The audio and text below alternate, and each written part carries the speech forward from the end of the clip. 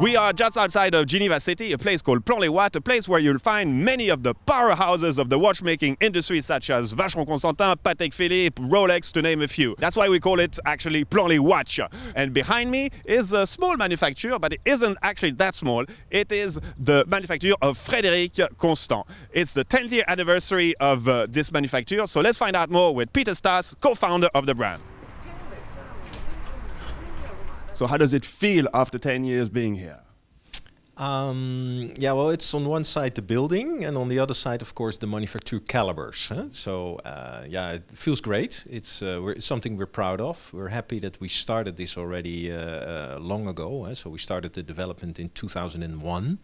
It took us three years in collaboration with the uh, university here in Geneva, uh, the watchmaker school in the Netherlands, and also the watchmaker school here in Geneva to develop our first caliber, um, which we then introduced in 2004. And now living in 2014, it's 10 years later, uh, many headaches later, but also many uh, nice, beautiful uh, successes and new watches uh, later. One night together with uh, with the owner of uh, of Sellita. Uh, he was still the sales director at the time. Meanwhile, he's the owner. We had this idea: why don't we open up the platine and also the the dial at the position of the balance wheel, so you can see from the front side that it is uh, a mechanical caliber. Mm -hmm. And that's how this idea of the heartbeat was born. We progressively came with new calibers in collaboration with Dubois Dépraz and Ingenieur. And finally, in 2001, we decided, okay, now we're going to really make our own manufacture caliber. And then in 2003, I think it was the first time announced by the Swatch Group that uh, in due time they only wanted to deliver complete movements, no longer ébauches. Mm -hmm. Uh, we were never buying ébauches because we were buying movements directly from Sellita or the manufacture calibers. We were also making the ébauche ourselves. So it did not affect us.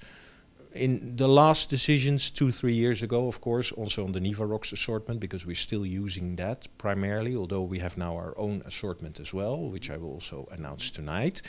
Um, there, there we were more affected. How do you see the next 10 years then for you? Listen, uh, yeah, we have an overall plan. We are now at around 140,000 pieces per year. Uh, we want to grow to about 250,000. Uh, so that's not only manufacture, of course. That's a combination of uh, manufacture for our uh, top end of the range. Then we have mechanical watches based uh, on Sellita calibers. That remains a very important part of the business, and we want to continue to do that.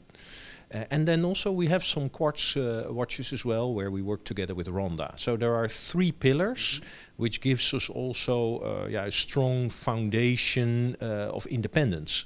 Uh, we can really uh, manage between those three where the market demand is and what we can develop. And we do that simultaneously. And you're an entrepreneur. You've started this business, like I said, almost 25 years ago with your wife. How do you feel right now about that?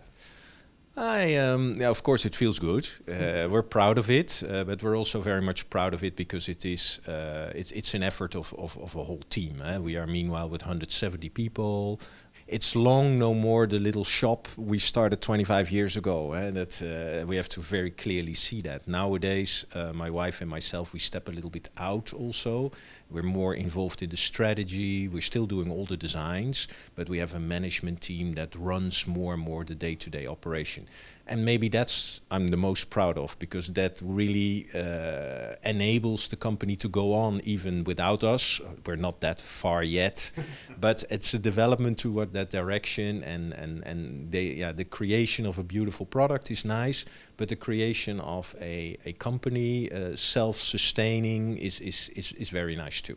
Well, congratulations and all the best wishes for the next ten years. Then. Yeah. Thank you very much.